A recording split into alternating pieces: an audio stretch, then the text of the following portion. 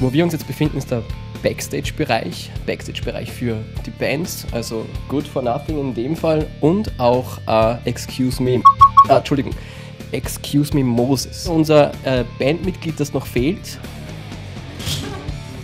Nadi.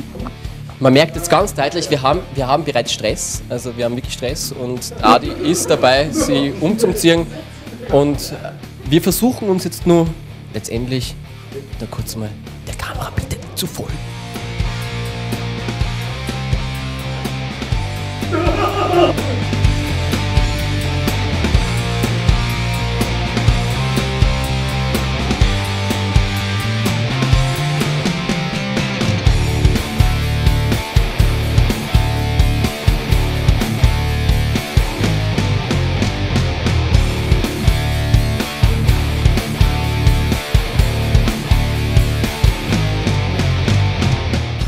Hallo, ich bin Iris. Ich bin auch von GFN.